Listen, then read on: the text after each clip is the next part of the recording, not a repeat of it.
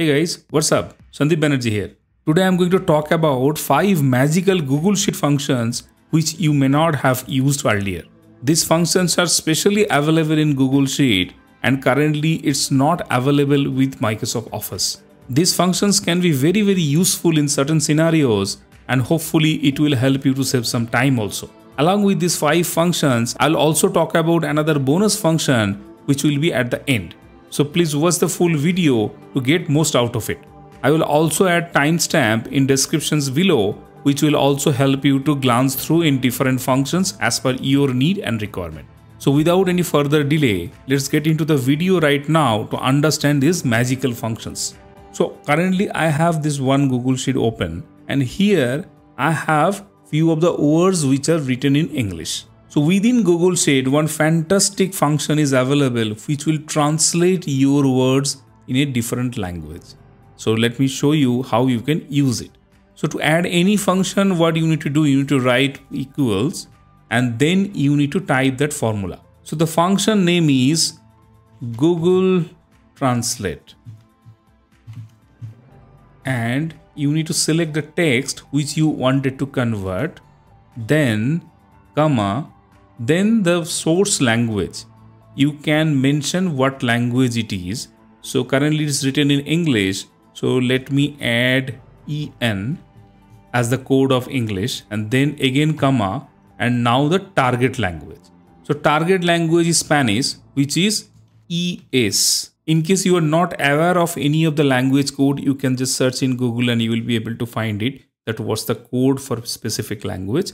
And now once this is done, let me close this particular bracket and if I hit enter, you can see, yes, it translated that particular word.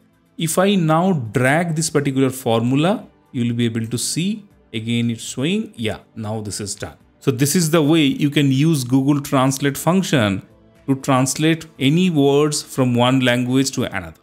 Not only words, in case you wanted to translate a particular sentence also, that also can be done using this particular function. Let me just show you how. Let me type how are you and if I just drag the same formula, you can see yes. So this has been also done.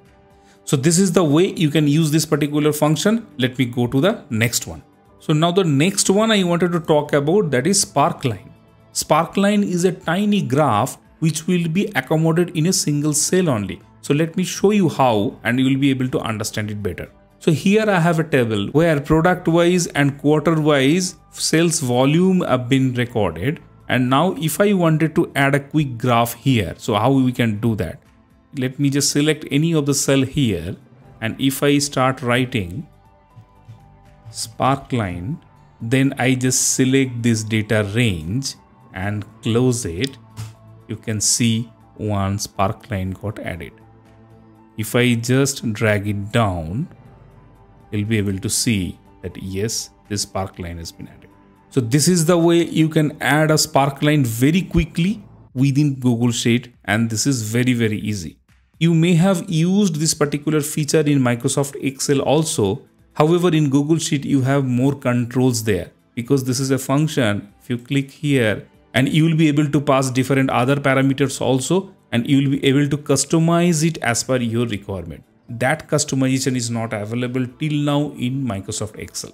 So I'm not going in that detail now. That can be another separate video altogether. However, this is one thing you must know and this particular function should be helpful for you.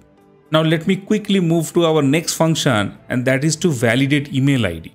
We all may have faced a situation where you have some data where you need to validate your email IDs. So one particular function is available within Google Sheet using which you can validate your email IDs and that will help you to clean up your data. So now let me start writing this particular function and that is is email let me just type it and now let me select this particular cell because that I wanted to validate and let me hit enter. You can see Google Sheet is also suggesting that autofill. So if I wanted to drag this formula or not, so let me hit on yes. So now you can see it identified certain email IDs which are not in right format. So one thing we need to understand here, this particular function is not going to internet to validate or resolve these email IDs. Instead of what it is doing, it's checking for the format of that email ID. So in case you have an at the rate and before that some text are there and after that something something and dot then domain is there, then it's declaring it as true. And for others it's false. So you can see here the domain name is missing. Here before at the rate the text is missing. So that's why these are false. So these are the way it works. However, it can be very very useful in certain situations where you wanted to clean up your data. Hopefully you will be able to use it. Now let me move to the next one and that's very very interesting and is one of my favorite that is generate QR code within Google Sheet. So there is one function here you'll be able to generate a QR code for any of the web address. So nowadays QR codes are being used extensively where just by scanning from your mobile phone you will be able to visit some of the website and generating required QR codes are becoming a requirement. Now let me show you how you can do it just using a simple formula. Now one thing we need to understand here, this function is not like the normal one. You can see in this below row, I have added one string here. So you don't need to remember that. I'll add this particular text in the description below so that you can just copy paste. You don't need to remember it. What it does, it calls a Google API which creates this particular QR code within the Google Sheet. So let me show you how you can use it. If I click here and then copy this entire text and then if I paste it here and hit enter, you'll be able to see it generated a QR code. Similarly, if I just drag it down, it will also create the similar QR code. And this is very, very easy. In case you are using Microsoft Excel, there to generate QR code, you need to install third-party add-ins to get this particular output. However, within Google Sheet, this magical function is available and using which you can generate a QR code very, very quickly. Hopefully you like this particular option. Let me move to the next one. The next one I wanted to talk about, this is a very useful one. So the next one is searchable drop-down list. Now what it is, let me show you what I'm talking about. First of all, if I click on any of the blank cell and right click there and if I scroll it down, you'll be able to see one option at the last that is data validation. If I click on that, one pop-up will come. So it will create a list of all available values and it will also take care of the sum of the data validation things. So what I need to do in this particular pop-up, I need to select a data range. So let me click here and then if I select this entire column, then it will add it there. And let me do another thing. On invalid data, let me select this reject input and click on save. Now you can see there is one new drop down. Let me click on that. Now here all job roles which are listed here are available in this particular list. Now let us talk about some of the features here.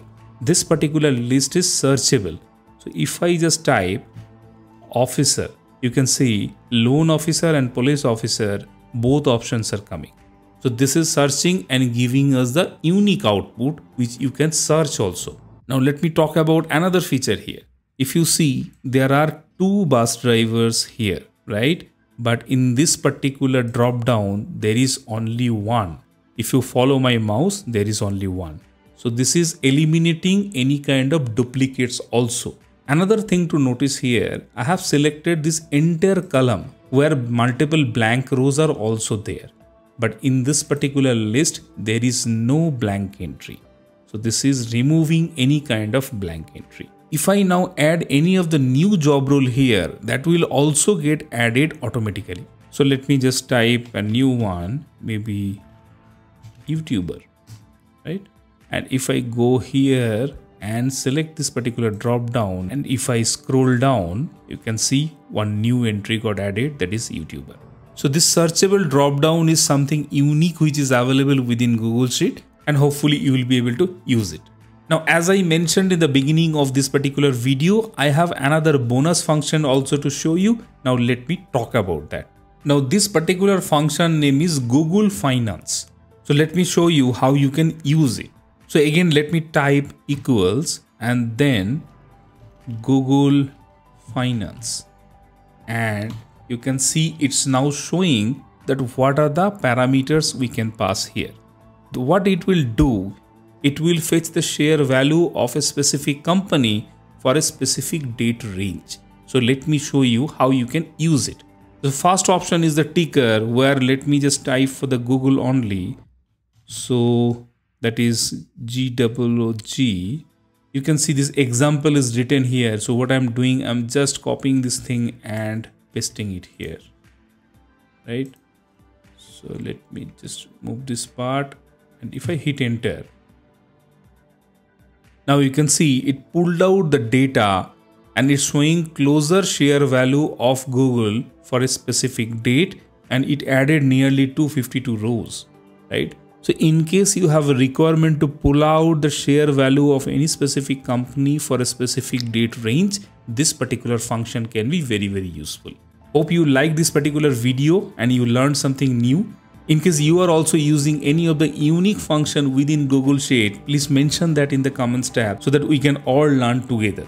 Also let me know in case you want me to cover any specific Google functions or features in any of the future video which I can cover.